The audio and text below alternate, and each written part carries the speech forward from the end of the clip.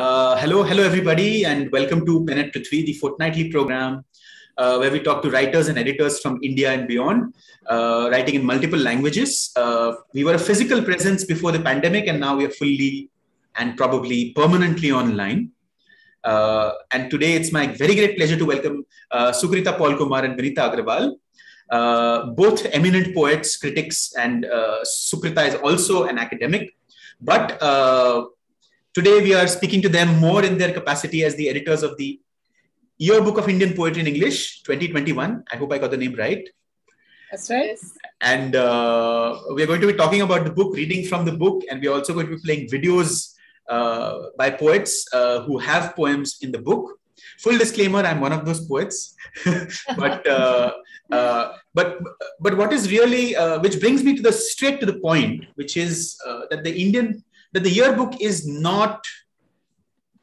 It is subjective, as all selections are, but it is also, in a sense, it makes a very strong uh, credibility claim because it was actually the result of not only the editorial interventions of Sukrita and Vinita, but also it went through a rigorous selection process by a panel of uh, poets and publishers. If I'm if I'm correct. That's right. Uh, so uh, you know, and that is exactly how you can you know uh, that is exactly how you say yes, this is an yearbook in the in the proper sense of the term. Uh, would you would you guys like to uh, tell us a little bit about this before we get into the conception of the yearbook, about the panel and about how you two came together, how the panel came together, how the idea came together? Well, I, um, I think, thank, first of all, thank you very much uh, to you, to Prithvi for organizing this for us, because I think we are always looking for a platform to disseminate the idea of the yearbook. Because the yearbook, I think there's a lot of effort, yes, of course, went that went into it, into the concept, of course, and also into the doing of it. Because we were trying to basically uh, bring in both inspiration and perspiration into it. Because yes it was a very inspirational kind of a coming together between um, vinita and myself. Not at all planned because these days in any case whatever you plan never functions right? Never happens. So it is this this was really truly uh, just a kind of a random um, kind of talking that happened. And then the idea emerged and the idea was more than random, of course, because it had to be fleshed out in a very rigorous way. And uh, but we did it with a lot of joy, spirit of joy, spirit of energy, a lot of energy into it. And I don't think we were, and also fortunately, I think we, we saw eye to eye in most uh, cases. Yeah. And um, even when there was a little bit of a difference, it didn't look like a difference because basically the concept we were coming together on that. And uh, also, with the, one of the points that we were very, very keen on was that it should be as objective as possible, the selection. And we know, and as you know, that uh, social media and uh, publication of some magazines, not too many, but there is a mushroom growth of poets all around and poetry so much that uh, it's very difficult to really have a discerning eye as to what to uh, keep in the mind and not what to kind of how do you sift good poetry from non-poetry? I don't even want to say bad poetry but just non-poetry you know? But there is so much of it all around and we thought that it would be a good high time in, in as far as indian writing in english is concerned and particularly poetry. It's high time that we get together some of us who are in, into the business of poetry writing, reading, editing, anthologizing, and we've been there for decades. So I think it's our responsibility. It's almost like a social responsibility, you know, that we uh, conduct um, this kind of a program where we come together on sifting. As, as to begin with, this was the objective to do the sifting you know and and not just it cannot be an all-time sifting because obviously it's an ongoing process that is happening. And, and as far as writing is concerned more and more every year is happening. So it better we thought it would be better to do it as a yearbook so that um, you know we capture creativity and the creative vigor and rigor that you see all around in poetry. We capture it for the year and uh, kind of see how it's dynamic. From year to year it might change it might you know remain the same whatever whatever. But record keeping is the thing. And maybe vinita you can add on to this? Yes i would like to actually first of all tell you a very thrilling uh, you know backstory to the yearbook. The fact is that it was conceived in bombay itself. So sukrita was here to read for kala ghoda 2020 and uh, we were together this afternoon and just sitting and chatting about uh, you know the plethora of indian writers writing in english all over the world the indian diaspora included. So we thought how do we how do we make sense of all this beautiful work this remarkable crafting of poems that indians are you know doing? So we need to put it all together in one book hopefully and then we were talking about how would we do it, what would we call it, and then we just thought we should call it the Yearbook of Indian Poetry in English. That's how it. That's how the seed was uh, was actually planted in the soil, so to speak. And then we had this committee of eight very eminent, very accomplished, most respected poets, and uh, they were uh, they were the review committee who looked at the long list that we gave them. So we gave them about 200 poems out of which we requested them to, um, to, to select almost approximately 100 thereabouts. And our submission had gone up to almost 600, 650 poems. So we longlisted it and then we gave it to the review committee. And the review committee const- consisted of uh, very eminent poets like uh, K. Srilata, Ranjit Hoskote, Ashwani Kumar, E.V. Ramakrishnan, Menka Shivdasani, and Anjali Purohit. And Anjali, we're very grateful to her also because she was the one who coordinated amongst the committee members and gave us their shortlist, you know, whenever at the due date, whatever, whatever the deadline was. So it was as objective as we could make it. But yes, like you said, selection is always a subjective process. But we are not apologetic about it at all. And we love the yearbook as it's come out, and we love the way that new poets and new names have been thrown up in the yearbook. And that's a very fascinating thing because uh, the wonderful thing about subjectivity is that it is probably the best exercise of taste, and there's no better uh, uh, arbiter or whatever um, yardstick to art than taste. Uh, so you you said uh, a lot of young poets, a lot of uh, hitherto less platformed voices have now you know found mention in the yearbook. Their poems and the yearbook. Yes. uh, can you tell us a little about the application like did you did you invite applications? Did did you have a uh, an open call for submissions? How did that work? It was an open call. Yes. Yeah. yes sukrita. No, I just wanted to also, you know, add on a little bit to what we were talking about in terms of the process. One point which is very crucial uh, is that all the reviewing happened blind. Oh, yes. It was blind review. So, you know, to us, it was very important not to think of the poet as much as the poem. And that I think we were able to very successfully, Vinita. It was a miracle the way it happened. Absolutely blind review. Yeah. Yes. So, uh, but also, of course, and mind you, it just it wasn't just one round of selection, because we wanted to make sure whatever over was again sent to the uh, um, committee, and we also scanned it all over again just to see that you know we are as fair as possible. But of course, there is always some, maybe some very good points got left over. Maybe it's not representative we can't help it. No, no book is going to be really representative. Absolutely. Also, also the point is that not everybody submitted by yeah. virtue of the fact that not everybody got published in that year also. And, uh, and even those who did get published, maybe they didn't come across the you know call for yeah. submission.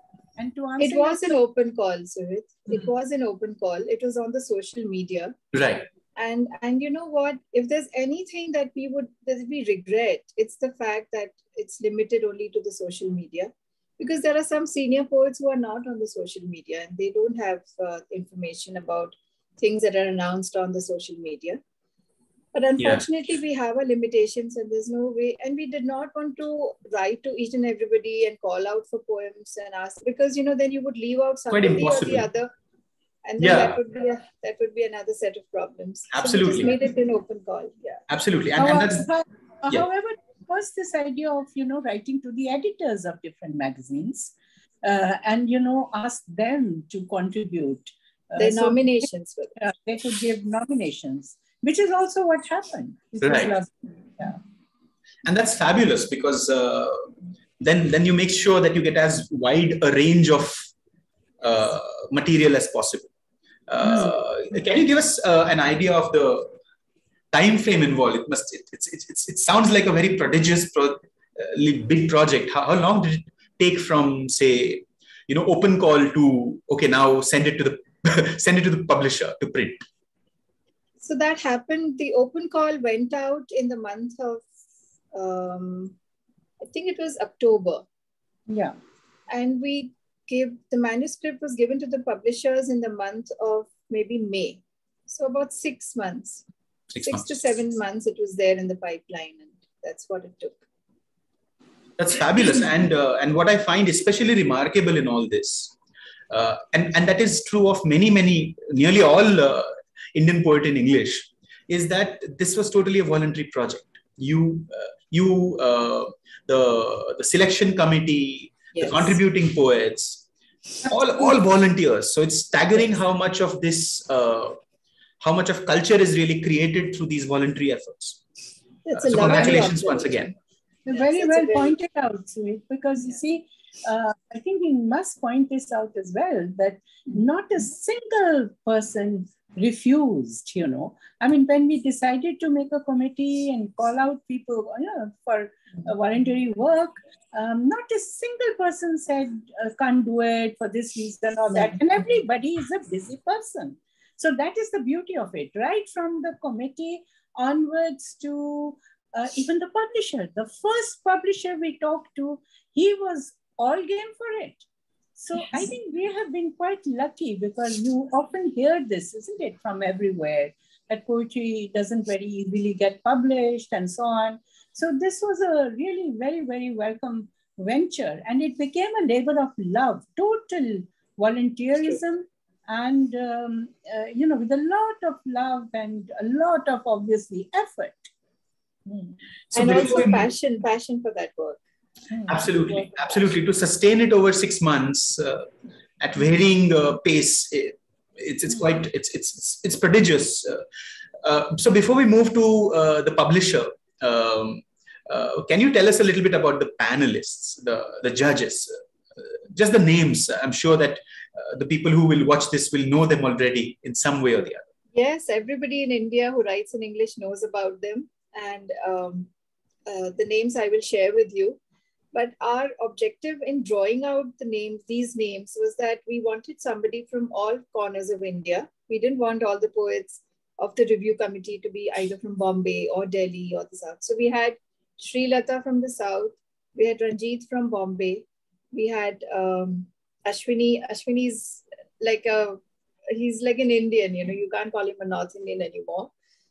Well, he was there. So, so K. Srilata, Ranjit Hoskote, Ashwani Kumar. Then, then we had Menka Shivdasani. We had Anjali Purohit, who was very kind to coordinate also amongst the review committee. We had E.V. Ramakrishnan. And uh, we had Dibyajyoti Sarma, who is from the east. Of Red River, the... Yes, of Red River. Yes the, the one man uh, boutique publisher, indie publisher, Red River. Yes, indeed. Absolutely. Although we we called upon him as a poet. He's yeah. also a poet. Of course, of course. I, I absolutely. in his capacity as a publisher. Absolutely, absolutely. And uh, and, and a very yeah, worthy and, and good poet. Yes. Absolutely. And we had Uttaran Das Gupta, who is also from the East. Yes. So that was the eclectic mix that we sort of ruffled up fabulous fabulous and and the publisher uh, you said that the first publisher you approached was game uh, yes. can you tell us a little bit about the publisher before we move on to uh, metaphorically opening the book and reading sure. Sure. Yeah. so so who who who was the who is the publisher and uh, how how did that process go it was uh, kind of uh, Hawakal, uh, the publishers and uh, Bitan and uh, Kiriti Sengupta, they are the ones who uh, we approached. And uh, as, as we said, you know, I mean, we just took of the idea and there was absolutely no, I would say, interference or any kind of condition laid out, you know. That is and, their speciality. Uh, uh, absolutely. Yes. And that is something which is really wonderful, whether it is to do with the size of the book, number of poems, pages, this, that, not a single negative point, you know whatever we decided, whatever Vinita and I not only decided, we decided on the basis of what was recommended to us and what kind of solutions we had. Mm. And we didn't have any idea as to how many pages we were going to make in this poem, uh, in this book. And so that way, I think the publisher's role was uh, to publish hmm. and have faith in us. That's the yes. Excuse me. Hmm. Total commitment and faith and and living up to the deadlines you know uh, and that is also not easy for a publisher to do because we know whether it's Hawakal or uh, you know people who are doing only poetry, how much of a queue there is. There are so many people who, who are submitting their manuscripts, you know. But I think there was a little bit of a priority given to this book as an anthology, which I think even to the publisher mattered. And of course, there was an element of risk in it we know that. And so the publisher was also probably conscious of it and managed to take the risk with us because you know, anthologization can always mean making, yes, a lot of friends, but a lot of enemies also. we know that, you know. Absolutely. So, so, um, so we didn't want to be our own enemies as well, you know. So that is why we thought that let it be a larger group, and the publisher was part of it in that sense. But the publisher, this particular publisher, we deliberately decided let him not be in the committee. Mm-hmm. Though he himself is a poet. And right. we value that. We value that matter a lot. And that is why probably uh, these books are happening.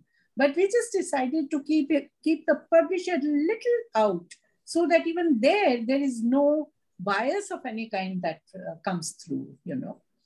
So, and I would like to add that uh, if if at all the publishers gave us any inputs during the you know the last few days when the print run is just about to go to the press so at that time their inputs were extremely helpful and extremely positive and, and very very some of them were critical inputs that we mm. got from especially Kiriti Sengupta.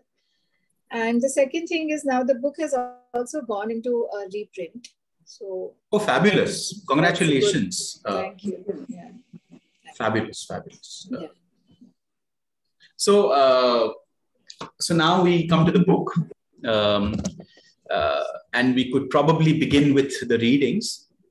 Uh, but again, if you, if I just sort of, uh, you know, asked you, just for curiosity's sake, that now, you know, now, now you, there has been a bit of a distance between you and the first yearbook you know there's some time has passed some water has flowed under the bridge. So if you just read it again if you just leaf through it not as the co-editors but as poets yourself do you, do you see anything do you see a snapshot of something there? Do you see any patterns? Do you see anything that leaps out at you?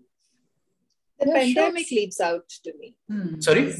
The pandemic. The pandemic the pandemic and poems poems on solitude and and the mm-hmm. even migration that happened during you know post as soon as covid had struck in march last year that mm-hmm. i feel that the yearbook kind of is you know it resonates with the time it's, it's definitely a reflection of what the year meant to those poets Sukrita, would you like to add to that? Yeah, yeah. So I, I, I feel yes, it's very, very important to see how you know even in poetry, a certain kind of sociology and history gets uh, they get inscribed into poems, right?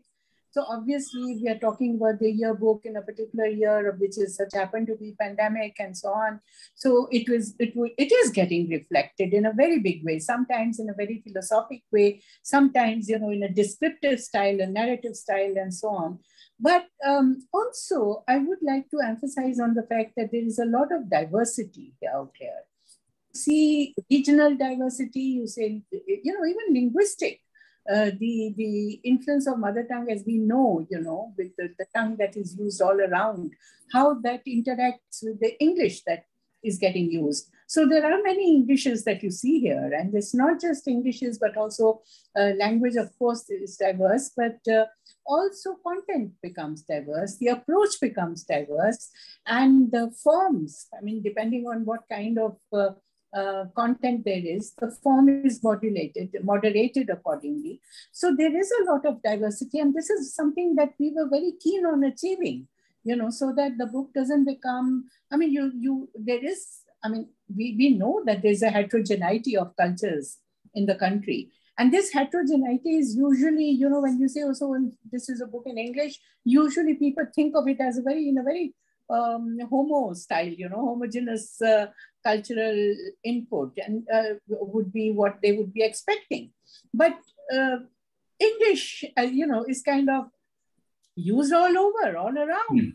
But these, this is not just English, but it's, it's English is, as we have been saying, and in our introduction, we emphasize on that. And that is why we and, uh, very emphatically say this because uh, this diversity cannot be missed out, even if it is the approach to pandemic, which everybody is suffering. And there are some common themes in that, you know, whether it's loneliness, this, that, whatever, disease, migration. But even there, there are regional differences. And also, it's that's not the only theme that is covered here. Mm. There are hmm. many themes that are taken up. So uh, you do see a lot of diversity. And also you see diversity in terms of age groups, you know, of people who, poets who have written. There are very young poets here, new poets, there are, there are the senior poets, you know. So there is a good, I think a good mix of, uh, uh, you know, different age groups, uh, age groups that we see in this yearbook. And that's to... There's, there's one more thing I would like to add, Sukrita, when you were talking about English is, so, Suhit, we had this conversation with Sampurna Chattarji, and I'm being a little premature in, in revealing the content because it's not yet been uploaded on YouTube. But she described this strange, uh, what was the term that she used, Sukrita? Strange conspiracy? No, some strange, no, discomfort, I think it was. Strange yeah. discomfort with yeah. English. Mm. You yeah. know, that, that kind of, of to perceptive editors and poets and readers, mm. that has come through in, in the yearbook that, you know, what is the strange discomfort that a particular poet has with English, the way he or she uses it. And Sampurna pointed that, that out. And I, I completely agree with her because in the use of language, we do see uh, how comfortable the poet is writing in that language. That, that strange sense not yeah. everyone is very comfortable yeah, you know so, yeah. so when you read between the lines you get to know of that slight distance that the poet has absolutely and, and that really hits that really hits home for me particularly mm-hmm. um, uh, because uh, you know uh, I don't know. I don't know. Some I, I read no, but somewhere. I have to say, I, I've told you that, and I can say this right here on this platform. Your poem is one of my favorites in the book. Yeah. Not because yeah. it's on climate change, yeah that hummingbird poem but it's mm-hmm. it's, it's beautifully conceived. Absolutely. Also i feel that you know there are um, uh, uh, that you also see how the interlinking is there you know. These themes are connected. You think of climate change you think of pandemic you think so you know one can write a whole story about the times looking at the poems out here. But also back to that point about you know discomfort with the english. If you look at the dynamics of it all you know i mean the wrenching away that happened from say raja rao said this long ago. He talked about it uh, in the you know beginning itself of indian writing in english when he was saying that okay we have to um, uh, we, we are writing in English, we may write like the, but we should not write like the English, you know. Yes. We have to discover our own identities there.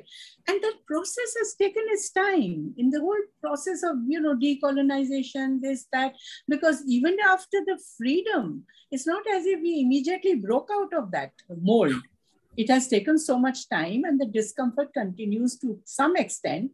But there are also now you see free flights of imagination, you know, uh, and getting articulated in, in freedom with which the language is getting used, English language is getting used. So you can see that trajectory, you know, you can see that. You can have a whole conversation about that. It, it can be a very academically viable kind of a discussion to see what is the post-colonial kind of uh, uh, reflection you know? How do you see that in terms of content? Because you know people there was a time that the convent bred english medium child, as it were, you know, was thinking, we began, began to think in those terms that this topic is not for me, only because the language was not able or that content was not getting access to that language, right? Mm-hmm. So those, those things were either exoticized and we know there's a lot,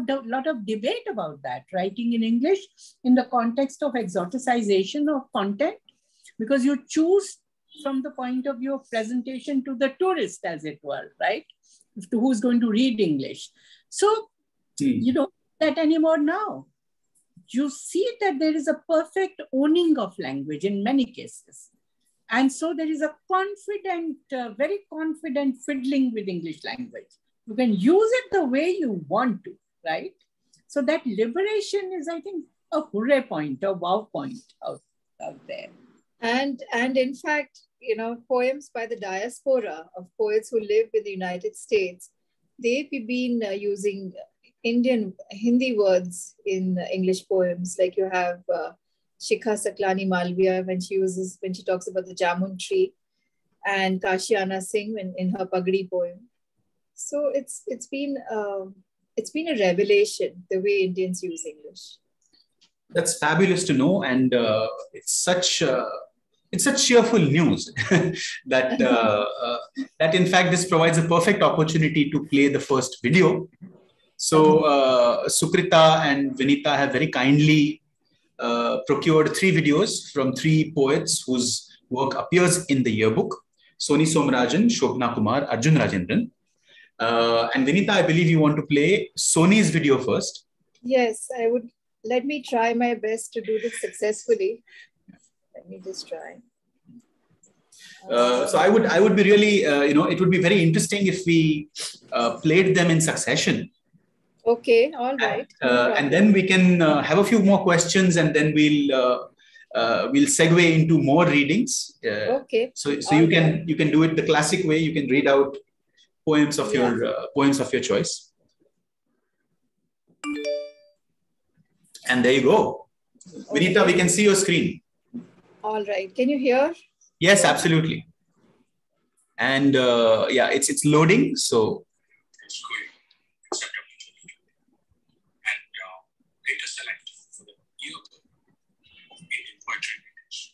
I think the volume is not, uh, the volume is a bit muffled, a bit low the day communism. Now is it better? Slightly, rather better. I can't hear. grandmother. We are the simplest of cotton, eat the thinnest air, and depend on money The family and anyone who counted discussed the eyes and days of a cremation.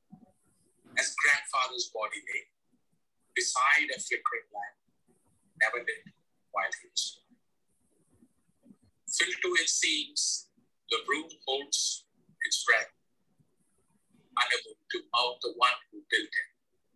The periods of hush, broken off by a sudden wail, sometimes staccato. In death, this free for all manifests betrayal of the departed, comrade's faith preserved carefully once, now undone. The public washes away the private, rendering everything. so should I play the second video? Uh, Vinita, I think uh, you know uh, I would I'll play it from my end. Okay, yeah. all right. Um, so so if you if you could uh, stop screen sharing, then I'll load okay. the second one. All right. There and there we go. Uh, so the second uh, video I'll be playing is by uh, Shobhana Kumar. Uh, if if I have, uh, yes, here we go. Um, and uh, hello everyone. So now I'll share my screen and then that's how we'll do it. All right. There you go. Can you can you see this? Yes. Yes. Hello, everyone. To the editors, Sukrita, Kumar, and Kumar, thank you very much for the in the yearbook 2021. Uh, I am Shobhana Kumar and I am 17 by the job. It's such an honor. It's a dream come true for me to be sharing this um, at So thank you very much for this. This is a poem titled The Music Words and written after my grandmother. And we in her generation who um, were connoisseurs when it came to cooking, catering for the community. But uh, flounder when it to uh, telling us exactly how go. And we're such a far cry from that. So this isn't a television do not words like this. An amnesia of. She has never been good at writing recipes down. We taunt her, believing she refuses to divulge a secret ingredient and sets an impossible bar for the rest of us. Watch, she says, and begins to weep her dream, taking pinchfuls of spice and handfuls of others. Of course, we use track, but we're eager to make a book of her signatures. Posterity is on our minds.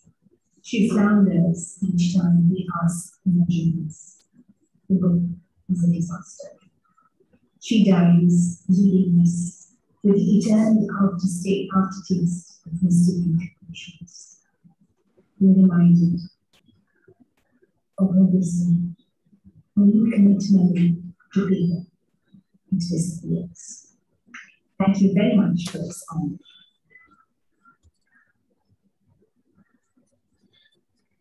When you commit, uh, as Shobhana said, when you commit memory to paper, it Beautiful. Yes.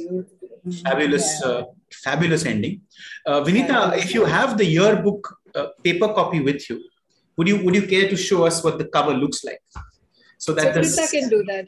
I'm not carrying. I'm not in Delhi right now, so Right. yeah. There you are. uh, it's a fabulous looking cover, yearbook, very elegant, very simple. And so, Krita, may I request you that since Soni's video was a little, audio was a little garbled, Yes. uh, we should be, uh, you know, uh, maybe you would like to read out his poem. Yeah, I think so. I this is what I was also suggest. Yeah, before I play Arjun's uh, Arjun's video. Mhm, mhm. Yeah, I'll just get it. Shadow plays what we read, right? No, no, no, no, no, no. The day communism died. Oh, we couldn't even make out what poem we read, you know? So it's, Alright. it happens sometimes with these. Uh, Yeah, yeah, technology. yeah, yeah, So yeah. let's read it. Let's read Yes, it. yeah, absolutely. Yeah. So this here, here I go. This is Soni Somarajan. Uh, the day communism died. Let words distance themselves like my widowed grandmother, where the simplest of cotton eat the thinnest air and depend on money orders. The family and anyone who counted discuss the ayes and nays of a cremation as grandfather's body lay beside a flickering lamp, never lit while he was alive.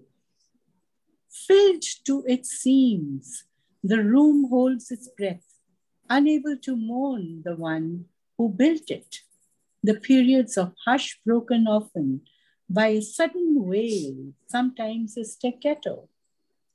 In death, this free for all manifests a betrayal of the departed. The comrade's faith, preserved carefully once, now undone, the public washes away the private, rendering everything pointless. Stunning poem. Beautiful. Stunning. Beautiful. Really. Absolutely, absolutely. And such serenity, you know, there is a kind of pathos and serenity out there, which is kept so well. Mm. Absolutely.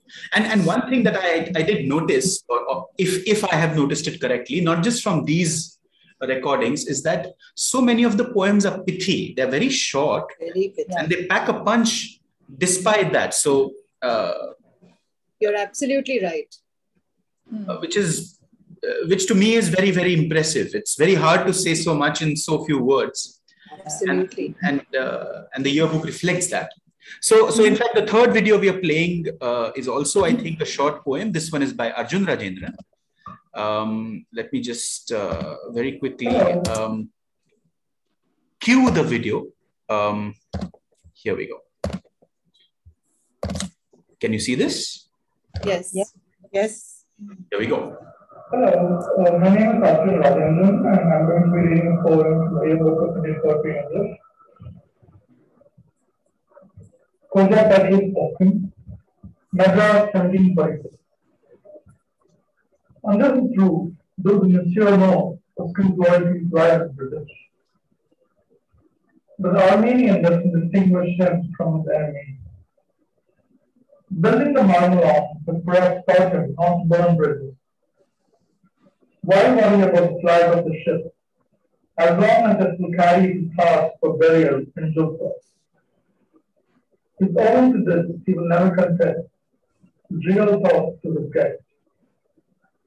Two soldiers should hold St. George like a native minstrel. Thank you. That that video was um, under a minute. So the prettiest poem we have this evening so far. Yes. yes. Yeah. So were you able to follow his audio? Was it Uh, not particularly because of the background noise. Yes. Um, yes. would would it, would you like to uh, perhaps? Yeah, I think I will read out the poem because it was the audio was didn't seem very good to me. no.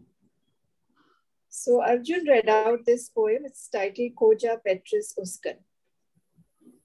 Madras, 1746.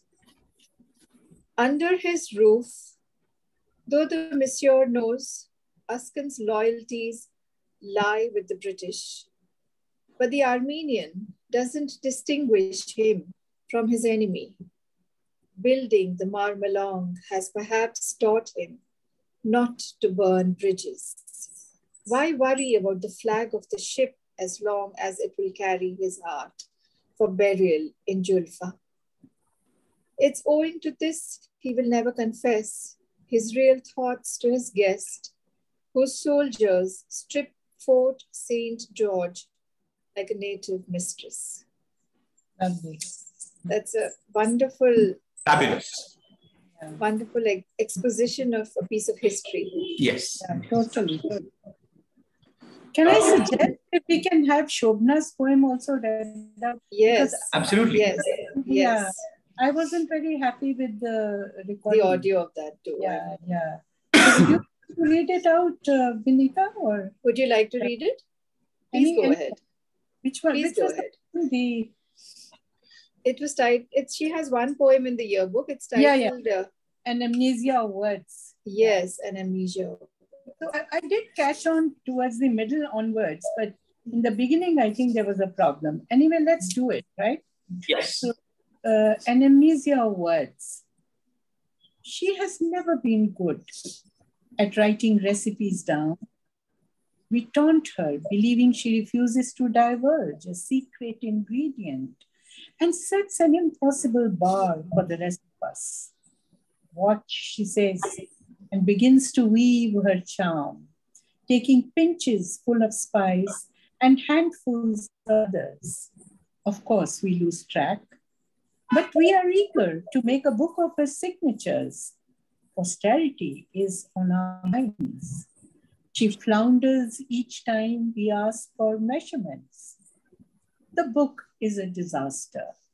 She dies, leaving us with the eternal aftertaste of mistaken proportions. We are reminded of her wisdom. When you commit memory to paper, it disappears. Wow. Beautiful. Very Stunning beautiful. last line. Yes, absolutely. Lovely. Exquisite. Yeah. So, I mean, another, thing is that, uh, you know, uh, apart from Arjun's poem, uh, these did uh, these poems did seem to have narrators who were, in a sense, memor writing their poetic Yes. memoirs, who were uh, Yes. uh, writing from their life histories, from their autobiographies, uh, which is uh, which is which is very very interesting poetry to read, since one can read uh, so Yeah. much into it. Um, Yes. uh, But even so- Ar- even Arjun's poem. Yes, you know, yes. It's from history. Yeah. But there has to be an owning of that history, isn't it? Absolutely. There Absolutely. has to, it becomes your personal history in one sense, how you relate to it, right? Absolutely. Absolutely. Uh, so, uh, who, who uh, so, so if we were to continue a few, with a few questions about the yearbook Yes. before we Yes. before we go on to reading more poems, um, how, many did you finally include? How many poems? 107 poems made it to the yearbook, out of which uh, about 12 poets had two poems in the yearbook. The others all have one. And I forgot to also mention this in the when we were talking about the selection process. You know, one very tedious task to do was to verify whether the publication that was mentioned by the poet Right. did actually happen in the correct at the correct, you know, whatever dates were given to us Yes. did it happen? So we found there were two uh, discrepancies there, and unfortunately, those poems had to be disqualified because they were not published in that year. They were published Right. in about four years earlier. Mhm. So that was a bit of a tedious thing. Um, but 107 poems, yes, made it to the. Wonderful, wonderful. And uh, uh, so, so would you like to? Uh, would you like to? No, uh, so read- let's, so let's, no, I'm sorry, I have to correct myself. Of course, of course. 127 poems are in the yearbook, I think, and 107 poets. Ah, yes. Yes, yes, Sorry. yes. I'm So never good at figures, but I knew there was some problem. There's something wrong. yeah. Uh, and, uh, and and and and uh, one one thing that that I noticed uh, about particularly about shall we say the period of say 2020 to date is that by the standards usual uh, standards of of Indian poetry in English there there are a large there is a large number of anthologies coming out apart from Yes. the book we had uh, the one called uh, I think Singing in the Dark Mm. uh, which was uh, which was specifically about the pandemic. Yes. Uh, Jeet Thayil's uh, anthology is coming out, yeah. which which of course was by invitation only. Yes. Uh, and there are a few more in the works apparently. Mm. Uh, why do you think that you know may, maybe we can just as, ascribe it to pure chance but uh, what do you think is the uh, anthologizing trend is there even one or is it just chance these things just happen some ideas I- just I gain currency I don't think it's just chance. Ah. But honestly, I have no real answer to that. I have also been wondering why has this, why has the culture of the anthology suddenly emerged in a big way? Um, I think maybe it's about you know people being confined to their sol, you know, in solitude to their little cells of you know one room wherever they're living and writing and existing. So there's this desire to somehow network amongst uh, poets, perhaps subconsciously we may ascribe it to that.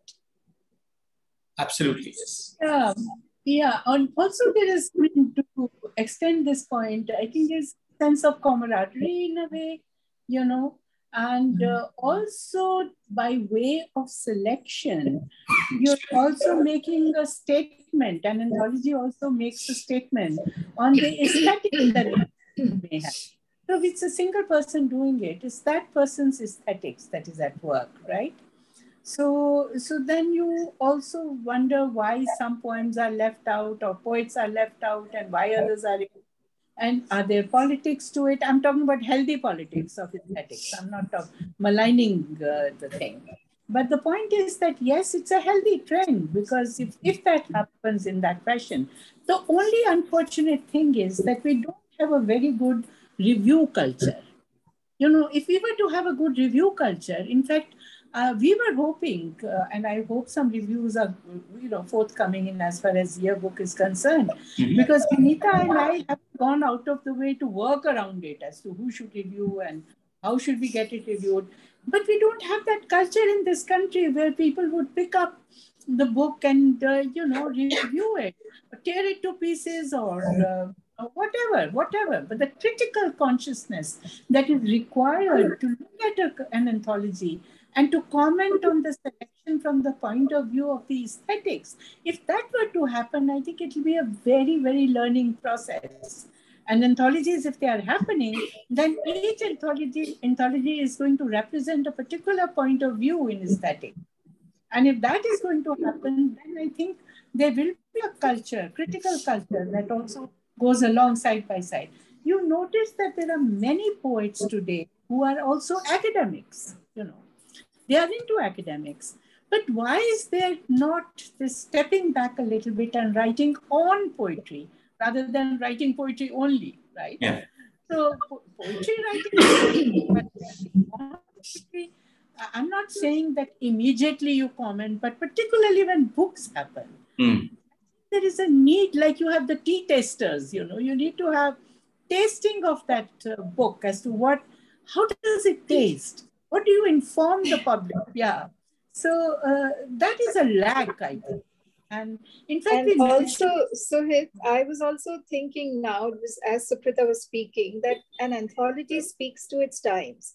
So when you have Singing in the Dark, then it's clearly an attempt to archive pandemic poetry. When you speak of Open Your Eyes, it's clearly an attempt to bring out and you know talk about climate change issues, which is pretty much And that was that was the anthology that you edited, Vinita, also with Hawakal. That's correct. So I think that the theme-based content of anthologies is also a very significant factor in having out, having these anthologies emerge. Fantastic. Um, so now we, uh, you know, we uh, uh, we might, uh, if you like, we could read a few more poems. Sure, that would Um, be wonderful. So, I- do you have a favorite? I mean, that would be a good idea, you know, to have you also give us your favorite one. on one, you know? um, I, I, I actually, uh, you know, I would, uh, I would be hard pressed to say that, but I would be, I would be very, very interested if, see, you had seven, eight events, right? So I'd be really, really uh, keen to hear stuff here that maybe you haven't read elsewhere, or that you've read Yes. seldom, seldom read elsewhere. No, no, we will definitely not read poems that have been read before. It's only fair to the contributors that as many of them get featured on uh, various platforms, you know. So, Yes. so maybe I would like to read Trivarna Hariharan's poem. It resonated with me. A poem titled Hunger. It's a very exquisitely crafted poem.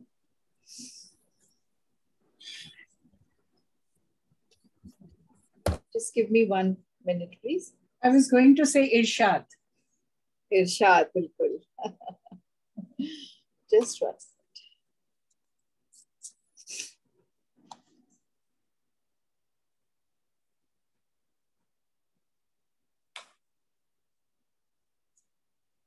All right, so here I am.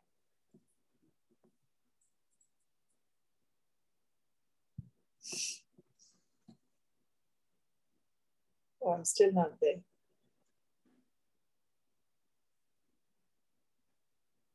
Sorry about this. I'm scrolling actually.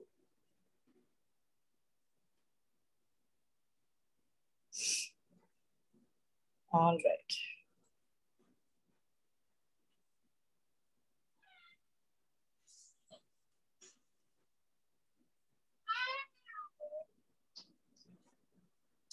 Okay. I have it here now. it's titled Hunger by Trivarna Hariharan. At 2 p.m. sharp, Mama signals us for lunch. Her voice scatters around the room like newly ground pepper. From a large silver bowl, she scoops rice onto our sun soaked plates. Her palm rests on the bowl's burnt brown bottom. Going round a circle, going around a circle, she journeys from the spoon to the plate to the bowl. I shudder to think the word serve. Again and again and again. Throughout the day, she circles the same loop, unloading the vessels from the stove, setting them on a table, serving, collecting, washing. Somewhere in between, a cry escapes from her mouth, like an unborn child, quiet, and unquestioning. After we have finished, she drops on a wooden chair to eat, swallows the day's remains like a cat licking a half thrown bowl of milk. Not knowing what to offer her, I watch on like a stranger. Mm. Beautiful. Very beautiful. I love the way the self-consciousness that comes in of witnessing what's going on. Yes, yes, it's, it's, a very Indian ethos kind of a poem. Yeah. Very authentic Indian poem. Yeah. yeah. What would you like to read, Sukrita? Yeah, so I thinking, you know, I mean, there are so many that I like. The yeah. problem the problem to choose. But yes, we are not going to read people who've already been featured. So I like to read uh, Aswin's, um, Aswin's, Aswin Garden. You know, it's a short poem which I love. Uh, Who's it by? Aswin Vijayan. Aswin Vijayan, yes. Okay. Yeah, yeah. Garden. I live here. When you come to visit, you bring the garden with you. And the snake is an albino, orange, slithering over your untouched skin. We sit sipping cider and talking about sex toys. What we are denied, we crave. I see the brown eye slits peeking from between the wefts of your peach soft woolen sweats the body of a happy hip on the table between us and its head in my mouth. Wow. A very beautiful poem. Absolutely fabulous. And again, so short. Very short, yes. yes. Shall I read Satyajit Sarna's poem? Yes, please. Uh, go ahead. It's, uh, it's titled Rain Things. And this was a nomination from Sampurna Chattarji. It was published in Indian Quarterly. It has an epigraph by Agha Shahid Ali. It goes like this. Rain things. It rains as I write this. Mad heart, be brave. Agha Shahid Ali. I used to think they didn't matter. The little things that people did. But now I think they might. It rains as I write this. Mad heart, be brave.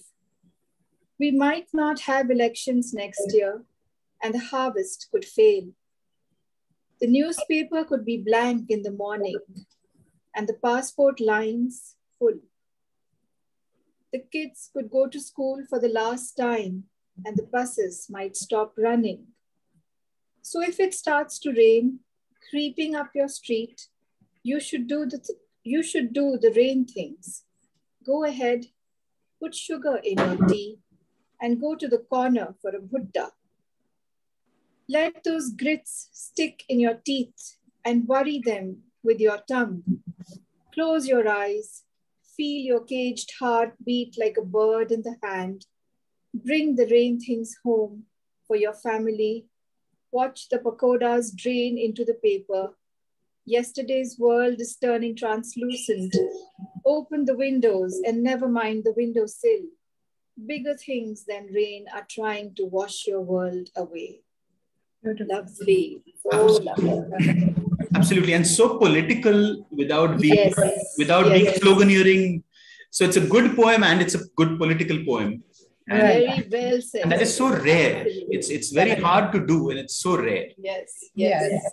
Uh, and it's uh, uh, and as I, I remember recently interviewing Mustansir Dalvi for the you know for Moneycontrol for his quadrilingual version of his chapbook on the uh, you know the worker crisis which led to people walking across hundreds, hundreds of kilometers and that is the point that came through when his uh, co-translators hemant uh, hemant excuse Hemant. me, Suren Thakkar and uh, Hemant Divte said that, that, that, that this meets the standards of good poetry and its uh, content is political, which yeah. this poem does so remarkably. Very true. And very accessibly with, while at the same time being such good poet, poetry. Yes, exactly. Actually, that's uh, that's what I felt even about Chandramohan's uh, poet, Chandramohan. Yes. Sathyanathan. Chandra- Chandramohan as Yes. you know, Yes, yes, yes, yes. yeah. When he's sort of uh, he's writing on caste and he says on intercaste love. Shall I read that? Please, one? please do, please do. It says, just like the saying goes, tongue has no bones but can break many. The submissive tuft of hair on the shaven heads of the twice born command an army of henchmen guarding the rust of medieval fences built along caste hymens. Two love poems from two different languages elope on a moonless night, storming the Bastille of apparently impregnable fortresses of their syntax. Look how subtle, subtle, so beautiful, you know. Absolutely, absolutely. So again, it could have become, you know, a kind of, you know, vulgarly um, political in the context of caste and so on. But it's a perfect poem. It's so aesthetic, you know. Yes, yes, yes. Subtlety, the ambiguity, the complexity is maintained. Absolutely, absolutely, absolutely. Do we have time for one more short poem? We we certainly do. Thank you. So this is a poem, a poem by Pramila Venkateswaran. She's a diaspora poet from the USA. This one is titled Credo of the Literalist. Credo of the Literalist. Termites eat a whole house. A bug brings down an oak. One person ousts a government. A microbe upends a world. We learn to stay alone. The hours of a day fill up with sleep. Cooking and eating rise into arts. We write and rewrite dreams. My email announces my friend's death. My keening floods the yard. We lose audiences. No need to juggle priorities. Sisyphus is frozen. The cross means cancelled. It's a very powerful last line. Powerful. Absolutely, and uh, Very powerful. and such a slant way of looking at the pandemic and other stuff around it. Yes. Yes, indeed. Absolutely fabulous. And uh, Yes. uh, so, uh, just before we end this program, uh, would you like to tell us where the book is can is available? Is it uh, online on Hawakal's website? Is it on Amazon, or both? Yes, it's available at both places Both. on Amazon as well as Hawakal's website. And we urge the viewers, whoever's watching this and going to watch this in the future, to grab a copy because it's it's the one place stop to read good quality Anglophone poetry being written in India. And uh, and before we uh, close the program, uh, do you plan to make this an annual feature? Yes, of course. That's the whole purpose of the yearbook. Yeah. We have to carry the cross through. And Cross uh, doesn't mean cancel here. Basically, we are carrying the cross for our own redemption, as it were. absolutely, and uh, may we all benefit from it as such exercises generally do. Uh, Vinita and Sukrita, thank you so much for giving us your time. Thank you. Uh, Thank you very much, Ben and Thank you. Prithvi. Thank you so much, Suhit. It's been an absolute pleasure. so Thank I you. Uh, so guys, please catch this video on YouTube on our official uh, channel, which is Pen at Prithvi Webcast. We will also be linking it in our uh, Instagram account and Twitter account. So until next time, goodbye.